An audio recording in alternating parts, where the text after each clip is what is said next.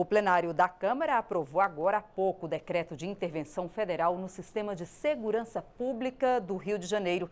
E a gente vai direto ao Salão Verde falar com a repórter Dini Moraes, que tem as informações. Olá, Dini. Foi uma sessão longa, mas a gente pode dizer que foi uma votação tranquila, Dini? Boa noite, Jaciene. Boa noite a todos que nos acompanham agora ao vivo pela madrugada da TV Câmara. Sim, foi uma sessão longa, viu, Jaciene? Foram sete horas de discussão e votação desse decreto que permite a intervenção federal na segurança do Estado do Rio de Janeiro. E foi, sim, relativamente tranquila, viu? Porque, apesar de ter acontecido a obstrução do, de parte dos partidos de obstrução, foi uma discussão, digamos assim, civilizada. Não teve briga, não teve discussões acaloradas e foi um discurso, uma, um debate, digamos, de alto nível. Dos partidos de oposição, PT, PSOL e PCdoB foram os partidos que eram terminantemente contrários ao decreto e por isso fizeram a obstrução. Por isso, inclusive, que a votação foi um pouco mais longa aí ao longo desse, dessa noite. Né?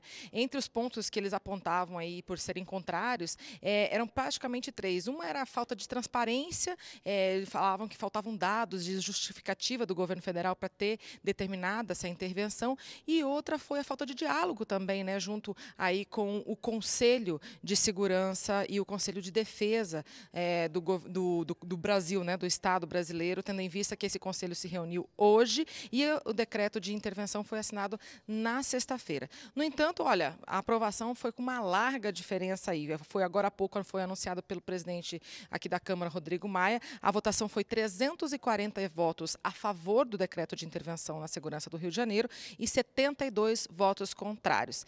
Vamos ver como é que foi um pouquinho desse debate aqui no plenário da Câmara? Foi a primeira vez que a Câmara se reuniu para votar um decreto de intervenção desde que foi promulgada a Constituição de 1988. O instrumento permite que o governo federal assuma toda a política de segurança pública no estado do Rio de Janeiro, incluindo os presídios, mas precisa da concordância do Congresso Nacional. Os deputados são os primeiros a votar o texto, em forma de projeto de decreto legislativo. O debate sobre a medida extrema começou assim que foi iniciada a sessão extraordinária, pouco depois das sete da noite. Não podemos e não vamos perder a ordem que está garantida na Constituição. Eu conclamo a cada um dos meus pares que votem sim. Isso não é uma matéria ideológica. O governo tomou uma decisão de supetão não consultou nem seus próprios ministros, na sua maioria, não ouviu nenhum segmento da sociedade, nem o Ministério Público, nem nada, para intervir no Rio de Janeiro, que realmente não tem governo há muito tempo. Essa ação da intervenção é correta, é tomada em um momento em que a população pede socorro. E essa casa simplesmente virar as costas para o que está acontecendo ou partidarizar essa discussão é colocar em vida e joga a vida das pessoas. Utiliza essa intervenção no Rio de Janeiro, que é uma medida exclusivamente política, para romper mais uma vez a Constituição. A medida não visa a segurança, não há um plano apresentado, não há um projeto claro, há um projeto de criminalização total da população das periferias. Nós temos a responsabilidade de intervir, temos a responsabilidade de atuar para dominarmos e retomarmos o Estado que está alijado das forças federais, das forças das polícias estaduais. Senhoras e senhores deputados, a situação do Rio não é uma questão de índice de homicídio ou de assalto. É uma questão de domínio territorial e geográfico. Transcende muito a questão da segurança pública para uma verdadeira questão de Estado. Sou carioca, moro no Rio de Janeiro mas repudio esse decreto. Essa intervenção é uma violação da Constituição, é um ato de estado de exceção.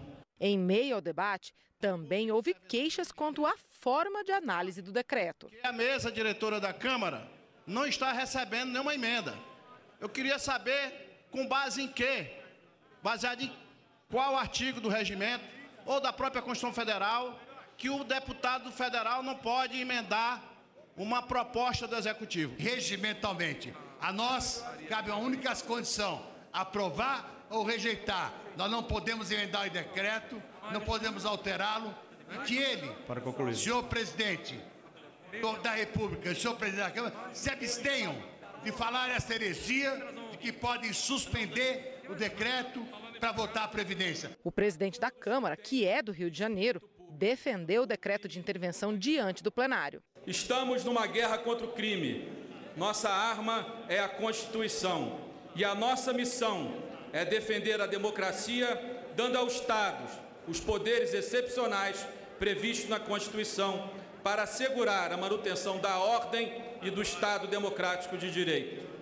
As Forças Armadas, a Força Nacional, a Polícia Federal, a Polícia Rodoviária Federal estão sendo convocadas pelo presidente da República, que é o comandante delas, para uma missão fundamental na defesa da democracia: combater e vencer o crime organizado.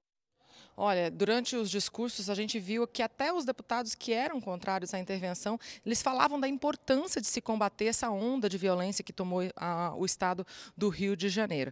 Bom, falaram-se em guerra civil, falou-se em diversas é, contra criminosos, de como isso está afetando a vida das famílias.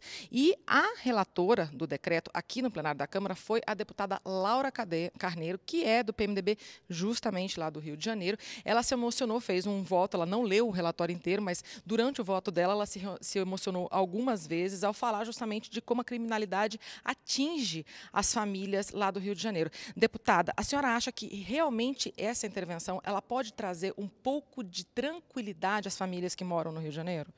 Eu não só acho como espero, mais do que acho.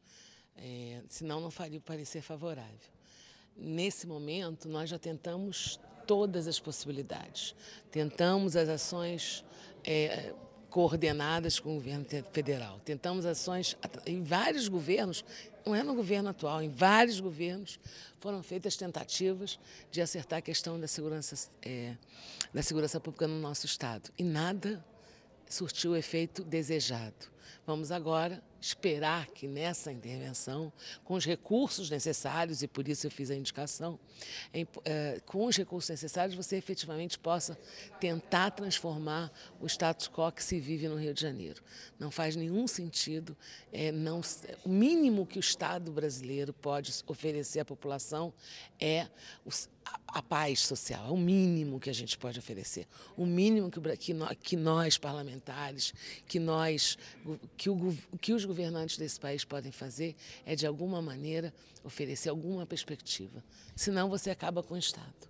A, a, a, deputada Laura Carneiro ela fez uma observação no plenário, eh, citando, por exemplo, o dado que aplicativos de, de, na, na internet, né? A senhora, só no, só no, Rio de Janeiro tem aplicativos de internet que mostram onde tem tiroteios no, no estado. E citou que cerca, a média é cerca de 10 tiroteios por dia. Eu, inclusive, fui checar depois que a senhora falou isso.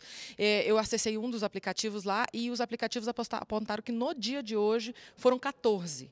Então, assim, é, a senhora apontou, como falou, como falou agora há pouco, fez duas, duas indicações para o governo, né, para o Poder Executivo, já que não era possível mudar o decreto. É, principalmente falando de de dinheiro. E aí eu pergunto para a senhora uma questão referente a futuro. Como garantir que essa situação ela, ela se tranquilize de fato após 31 de dezembro? Lembrando que o, de, que o decreto vai até 31 de dezembro, né? Essa foi a nossa grande preocupação. Como eu não posso alterar, não podia alterar o decreto, nós fizemos em forma de indicação, que é o único remédio jurídico que me restou. E fiz isso como parlamentar, independente do relatório apresentei as, as indicações. E nas indicações eu sou muito clara. É, na verdade, nós precisamos imediatamente de uma medida provisória, de um PLN, que uh, estabeleça os recursos necessários às ações da, da intervenção propriamente dita. É necessário que, ao lado disso, se acople recursos para a área de assistência social, sob pena de você. Agir só na parte, na, na parte de segurança. Né? digamos, né? E não agir na parte, vamos dizer, preventiva dessa, dessa matéria.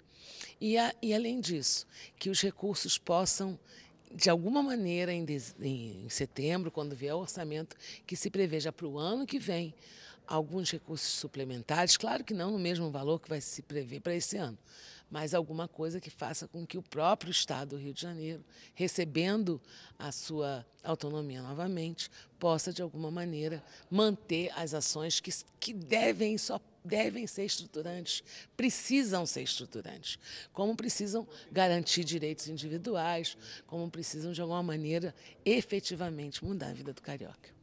Muito obrigada, deputada Laura Carneira. A senhora está participando das negociações no Senado? A votação lá vai ser tranquila assim também como foi aqui na Câmara? Não, essas eu deixo para o deputado Rodrigo Maia, que é o presidente. Tá bom, muito obrigada, deputada Laura Carneiro, do PMDB do Rio de Janeiro, que foi relatora desse decreto aí de intervenção na segurança do Rio de Janeiro. Jaciane, lembrando né, que agora esse decreto vai ser votado no Senado e a previsão é que ele seja votado já nesta terça-feira lá no Senado Federal. Ele já está em vigor, né, mas precisa da confirmação do Congresso Nacional. Você quer falar um pouquinho da pauta da Câmara dos Deputados para amanhã? Dizer, tem sessão já convocada para amanhã, né, Dini? Tem sim, tem sim. Tem uma sessão do Congresso Nacional, convocada para as três horas da tarde, e essa sessão é para é, apreciar três votos, né? Três votos, perdão, não, três vetos é, presidenciais e um projeto de lei de remanejamento do orçamento de 2 bilhões de reais. E tem pauta no plenário aqui da Câmara dos Deputados, e aí, de agora em diante, provavelmente será uma pauta que é considerada mais prioritária do governo. Amanhã tem três medidas provisórias que já estão aqui no plenário da Câmara dos Deputados. Duas delas perdem a validade na semana que vem. Uma delas trata do, tempo de concessão das rodovias federais e a outra trata das garantias que os estados superendividados têm que dar ao governo federal para conseguir renegociar as dívidas que tem junto à União. Já a terceira medida provisória, ela tem um prazo um pouquinho maior e ela trata de mudanças naquele programa que financia negócios de pequenos empresários no Brasil, chamado microcrédito produtivo produtivo. Jacene. Tá certo, Gine. Muito obrigada pelas informações.